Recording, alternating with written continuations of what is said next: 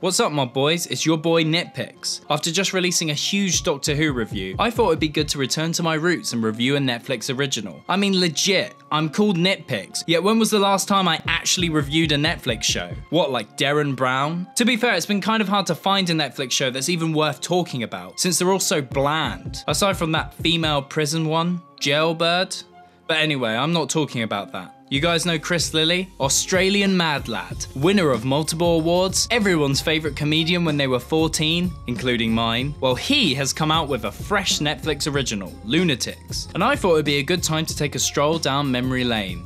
However, the problem with your past is sometimes you realise you used to be a huge fucking idiot. Lunatics is Chris Lilley's sixth show. He's a writer, director, actor that strives mainly in his ability to play a wide range of different characters. He is a character actor with an immense range from elderly women to angst ridden teenagers. The guy can do it all. These caricatures are large, with Lilley usually in heavy makeup and the characters mostly based around stereotypes. But this isn't some Little Britain stint. Chris Lilley has a unique fly on the wall mockumentary form format, where most of his goose and gags are improvised. He attempts to contrast these garish characters with realistic environments, interactions with non-actors, and a long-form narrative structure where the characters change and grow. However, despite the global popularity of Chris Lilley's shows, he has felt the full scorn of the media numerous times due to the politically incorrect jokes and characters that often fill them. Lilley is a huge advocate for pushing the bar of what is appropriate to say and do on television, and Lunatics is actually one of the few shows he's produced that doesn't include black blackface or yellow face. Seriously, that's the actual term for it, which is pretty racist in itself. I mean, Asian people aren't even yellow, they're just like skin colour. When comparing Lunatics to Chris Lilley's older shows, it seems like the guy has turned down his controversial approach to characterization, as this time he's not screaming faggot every 10 seconds or insulting any ethnic minority he happens to walk past. But even then, even without the casual racism or flippant homophobia, Chris Lilley still proves to be problematic, because Lunatics fails as a comedy, fails as a drama, and fails even as a bland Netflix original. But before I get all aggro at a piece of insignificant popcorn media, I have to talk to you guys about Raid again. In case you didn't already know about Raid Shadow Legends, it's the freshest and newest and tastiest mobile game in the scene right now. Best 3D graphics, the best giant boss fights, the littest PvP battles, and hundreds of champions to collect and customize. Ooh, don't mind if I do. And right now, you can compete against me in the special online tournament that's happening right now, with insane in-game prizes and even real-life prizes that are sent to your door. Holy fuck! Raid Shadow Legends is completely free, so download this epic gameage through the link in the description below to get 50,000 silver immediately and a free epic champion as a new player program. And on top of all that, you can help me pay my rent. Seriously guys, I'm nearly broke.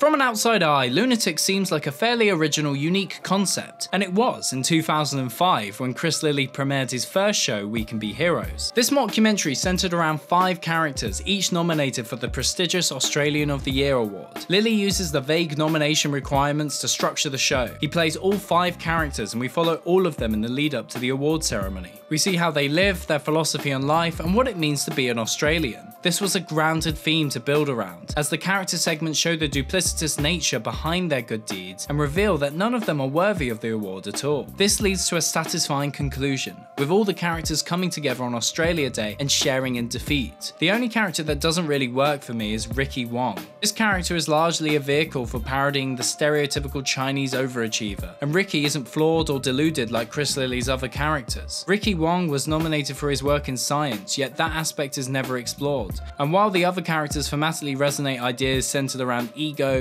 service, and morality, the Ricky Wong narrative is just high school musical, but instead of basketball, it's science. So you'd think 14 years later, Chris Lilley would have ironed out the creases in his format, as Lunatics is also a mockumentary that follows the journey of multiple characters all performed by Chris Lilley. However, this time he has done away with any guise of what the documentary is supposed to be about, or why it's following these specific individuals. The end result is an unfocused, bloated mess where every character is a Ricky Wong. Lilley's last ensemble comedy show, Angry Boys, appeared to have a similar undefined idea of its form, seeming to follow five unconnected strangers with no rhyme or reason as to why. However, Upon closer inspection, the clue is in the name, Angry Boys. Nathan and his twin brother make a reappearance, and they are unquestionably angry boys. The eardrum transplant was a failure, and Nathan is a misunderstood, frustrated teenager who will soon be profoundly deaf. His parents enroll him in a deaf school, and Daniel prepares an overambitious leaving party, where he invites three of their favourite celebrities. These legends make up the roster for Chris Lilley's other characters, and with the addition of Nathan's gran, who works as a prison officer for youth offenders, the segments are all linked through Nathan's leaving party, and all share themes of masculinity, aggression, and vulnerability. Though it's a niche topic for a documentary team to follow, this focus gave it a structure that Lunatics is severely lacking. But you could argue that all the characters in Lunatics are in fact linked together, because you know, they're all lunatics? Which is fucking dumb, because you could call any Chris Lilley show by that title and it would probably make just as much sense. None of these characters feel particularly crazy, except for this one who is actually crazy, but other than that, the link feels so strenuous and broad that you end up essentially watching just five random Chris Lilley stories that don't have any synergy or justification for the mockumentary format. With Angry Boys, what was being documented mostly was the lives of three celebrities and life inside a juvenile prison. As these are popular subjects for documentaries, Lilley didn't need to explain why a camera crew would choose to follow them. But with Lunatics, you have to really suspend your disbelief as to why a crew would follow an ex-C-list porn star with a mental illness, or just some estate agent, or this bloke who inherited a clothing shop. Obviously, with the right focus, any of these subjects make for an interesting documentary. But as Lilley is trying to balance six entirely different stories, the focus isn't there. Because we aren't given a reason for this documentary to exist within its universe, Lunatics lacks the pace of a documentary and ends up deteriorating into a standard soap opera with flat and overly shaky camera work. But if Chris Lilley has no justification for making this mockumentary, why would he even do it in the first place? Why not just make a series with clearly defined scripting and shot lists? Because that's not in Chris Lilley's comfort zone. The mockumentary style is all Chris Lilley knows. I mean, is all he's ever done. But as he's gone on, one could argue that he's moved his style away from mockumentary and moved more into the realms of neo-realism, whilst still sort of pretending they're mockumentaries. Lilley uses improvisation and non-actors to build a sense of realism. He also never breaks character around his contributors, maintaining a level of immersion. This artistic process is to presumably enhance the narrative, to create more genuine and believable interactions between him and his actors. But this directing approach jarringly clashes with the non-naturalistic characters he portrays. These cartoonish, loud characters with catchphrases and crass jokes don't tend to work alongside actors who are being told to act as normally and ordinary as possible. For example, Lilley plays Gavin McGregor, a foul-mouthed, gross 12-year-old boy. He's disruptive and rude to his mum, but because she's an actor being told to improvise, she's meek, quiet, and barely responds to Lilley's attempts at humour. The comedy is less jovial, it just feels abusive and you end up feeling contempt towards Gavin, as opposed to laughing at him in the same way you'd laugh at Eric Cartman. The character also has a crush on a girl the same age as him, and shouts lewd sexual remarks at her as she comes home from school. This scene without context is a middle-aged man garishly sexualizing a minor, but if Gavin was played by a 12-year-old boy, it still wouldn't be funny, just a bit uncomfortable. It seems that Chris Lilley wants realism and absurdism at the same time. He wants extreme character comedy and characters that feel authentic and relatable at the same time. Chris Lilley wants to have his cake and eat it too, because he isn't just trying to make an edgy comedy show in the likes of Little Britain or Kevin and Perry Go Large, he's also trying to make an engaging long form narrative, with character drama and emotional pathos. This is clear from the numerous scenes in Lunatics which aren't even trying to be funny.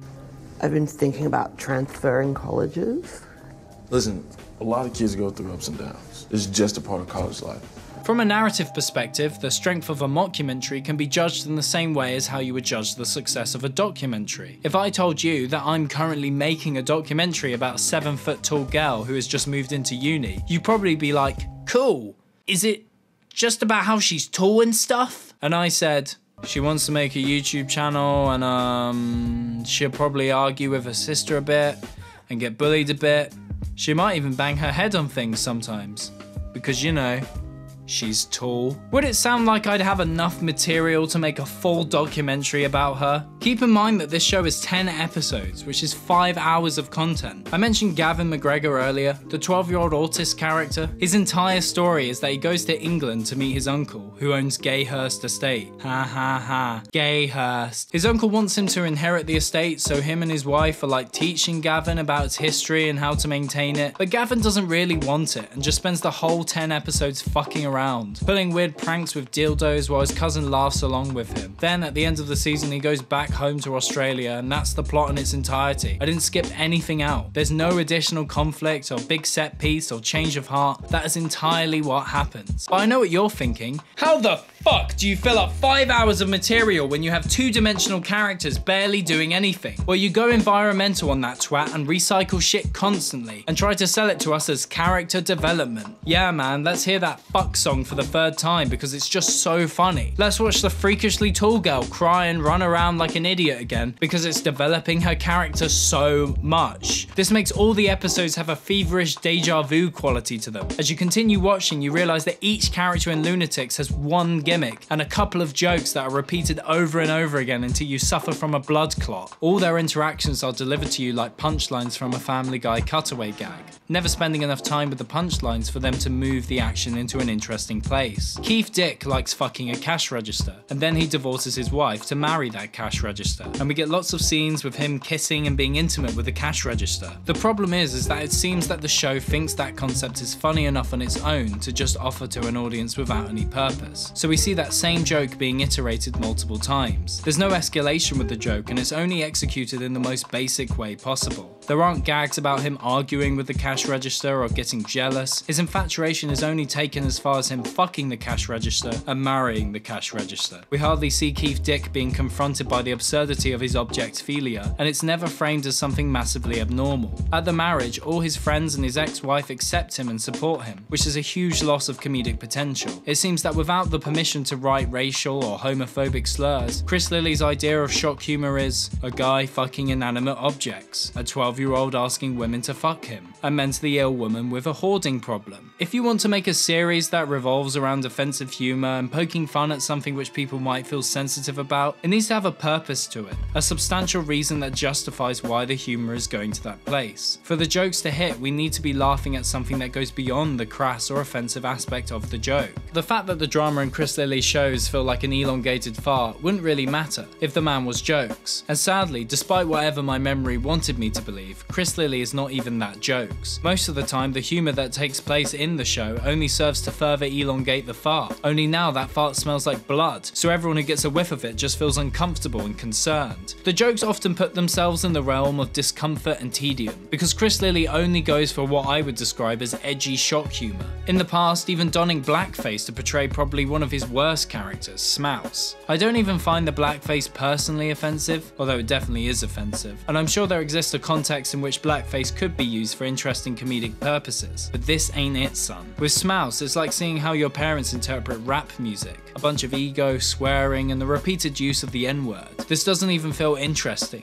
Nothing about this grabs my attention. There doesn't seem to be anything that even justifies why Chris Lilley has decided to black up. The same can be said for the characters in Lunatics. They're all as equally undeveloped and badly thought out as S.Mouse. Chris Lilley is still sticking to his 15 year old format and is unwilling to change it. And that's the real problem of it all. Chris Lilley hasn't evolved. His humour hasn't developed since We Can Be Heroes or Summer Heights High. Except now, he's so dependent on the formula of his shows that when you frame them against one another, all that you can take from it is how comedy and television has progressed and moved forward outside of what Chris Lilley does, emphasising just how static and lazy he has allowed himself to be as a creator. And that's really the most problematic thing of all lack of ambition. Because when you take your audience base for granted and you allow yourself to reside in creative comfort, instead of pushing yourself and developing further, before you have time to realise that audience that you thought you could rely on will have abandoned you entirely. But what do you think about Chris Lilley's new show? Are you a fan? Do you think I'm wrong? Well, let me know down below. And while you're at it, give this video a big fat thumbs up. Uh, smash the subscribe button.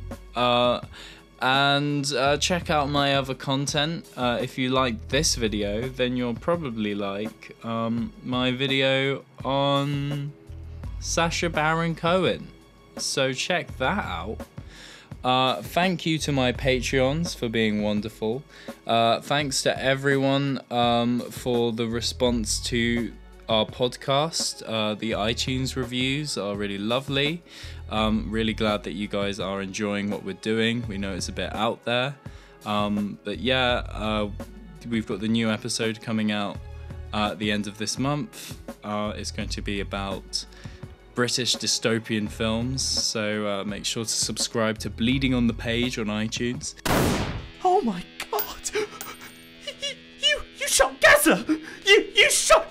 him! Where's Chunky? I will never tell you the location of the prawn princess, shit eater. You'll have to kill me first. Where's Chunky? I don't know her. I don't know her location. It, it- it's top secret. No one tells me anything. Oh, oh. Where the fuck is Chunky? And also, if you want a new summer look, why not check out our fashion collection at nitpix.co.uk. Uh, you can get a t shirt or a sweatshirt. Uh, you know, just get something fresh. All of that goes towards more creative projects, which uh, we love making. So, um, if we can avoid, you know,